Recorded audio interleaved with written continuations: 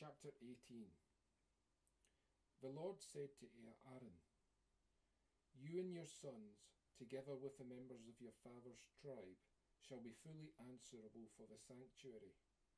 You and your sons alone shall be answerable for your priestly office, but you shall admit your kinsmen of Levi, your father's tribe, to be attached to you and assist you while you and your sons are before the tent of the tokens.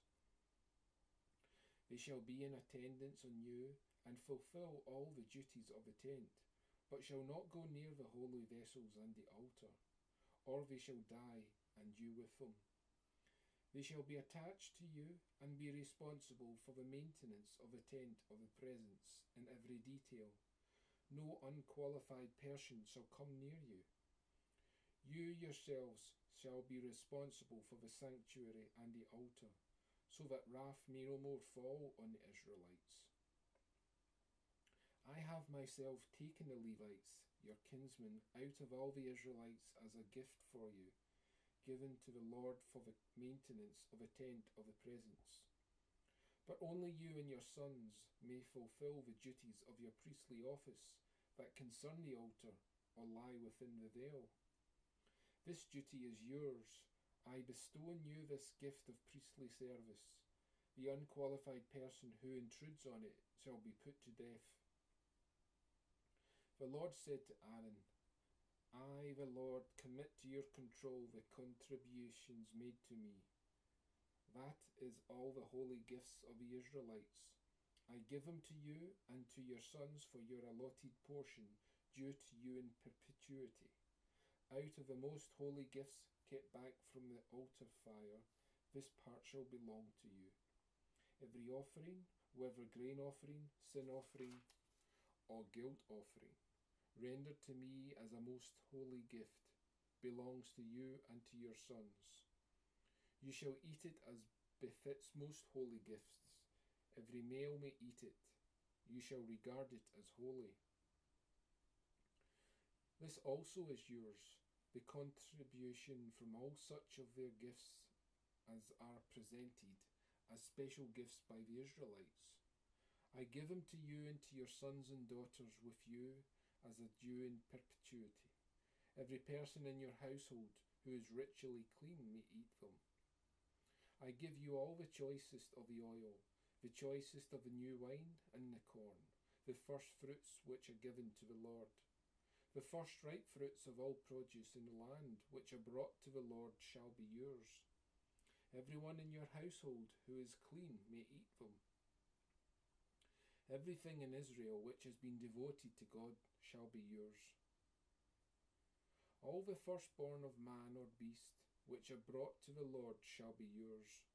Notwithstanding, you must accept payment and redemption of any firstborn of man and of unclean beasts at the end of one month you shall redeem it at the fixed price of five shekels of silver by the sacred standard, twenty gerahs to the shekel.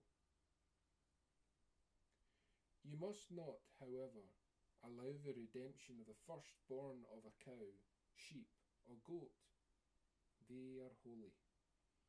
You shall fling their blood against the altar and burn their fat in sacrifice as a food offering of soothing odour to the Lord. Their flesh shall be yours, as are the breast of the special gift and the right leg. All the contributions from holy gifts, which the Israelites set aside for the Lord, I give to you and to your sons and daughters with you as a due in perpetuity.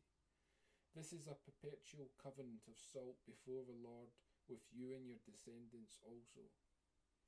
The Lord said to Aaron, You shall have no patrimony in the land of Israel, no holding among them.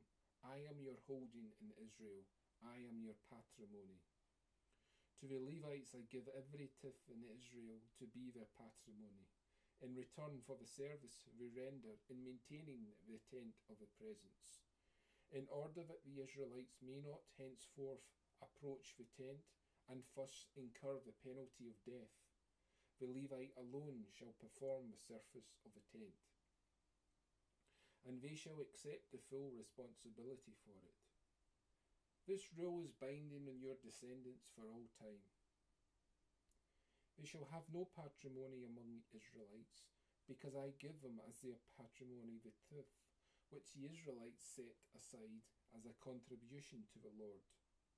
Therefore I say to them, You shall have no patrimony among the Israelites. The Lord spoke to Moses and said, Speak to the Levites in these words. When you receive from the Israelites the tithe which I give you from them as your patrimony, you shall set aside from it the contribution to the Lord, a tithe of a tithe. Your contribution shall count for you as if it were corn from the threshing floor and juice from the vat. In this way you too shall set aside the contribution due to the Lord out of all tithes which you receive from the Israelites, and shall give the Lord's contribution to Aaron the priest. Out of all the gifts you receive, you shall set aside the contribution due to the Lord, and the gift which you hallow must be taken from the choicest of them. You shall say to the Levites, When you have set aside the choicest part of your portion, the remainder shall count for you as the produce of the threshing floor and the winepress, and you may eat it anywhere, you and your households. It is your payment for service in the tent of the presence. When you have set aside its choicest parts, you will incur no penalty in respect of it, and you will not be profaning the holy gifts of the Israelites, so you will not die.